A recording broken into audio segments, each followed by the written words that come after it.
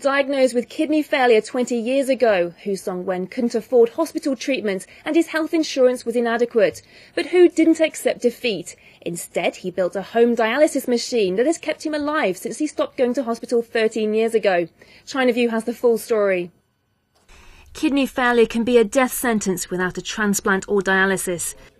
A matching donor can be extremely difficult to find, and dialysis is prohibitively expensive with insurance. Fortunately, Hu is a determined and resourceful individual. He was diagnosed with kidney failure when he was a college junior student in 1993. Since then, dialysis is all that has kept him from death. He began going to the hospital for dialysis, but after six years, the bills completely depleted his family's savings.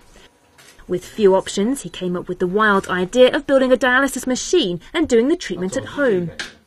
Hu's dialysis contraption sits in his home's bathroom. On the ground is an induction cooker for heating the dialysis fluid.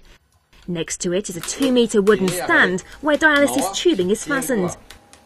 He's become adept at skillfully mixing potassium chloride, sodium chloride, and sodium hydrogen carbonate with purified water to make the liquid before undergoing the procedure. His 81 year old mother lends a hand. In 1995, I bought a book titled Blood Purification Theory. I learned from it all about dialysis. I found it was not that complex to do it by myself. In addition to the book, Hu also read some medical journals, and he took advantage of his six years of hospital treatment to learn the basic techniques of dialysis. Of course, it is more complicated to do dialysis at home than in a hospital, but the basic principles are the same. I first needed a blood pump, as recycling the body's blood requires force. Besides the pump, I also needed a dialyzer, tubing, puncture needles, medicine, and saline. For each treatment, I need a large amount of purified water and a lot of other medicals.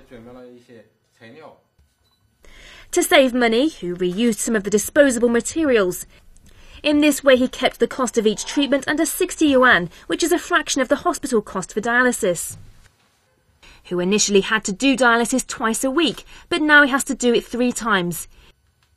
Each session lasts hours and is physically grueling.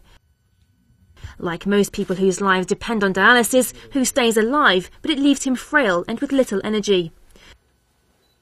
Doing dialysis at home has reduced costs, but the risks are significant.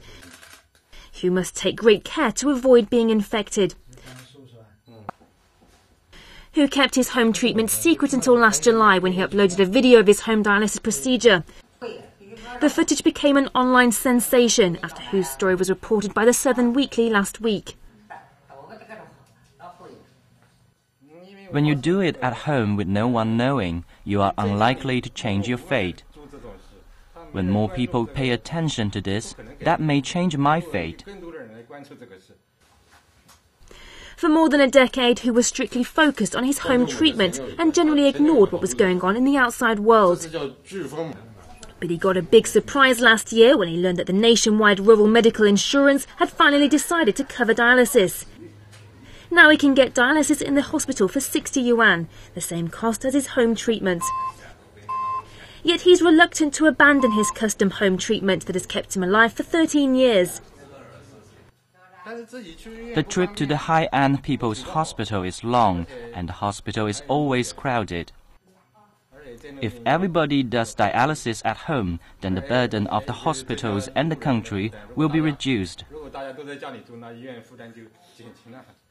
Hu intends to continue home dialysis for now, but when the weather warms up, he will reconsider going to the hospital. For individuals with kidney failure, the best option is a kidney transplant. It would be best if I could get a new kidney and lead a normal life.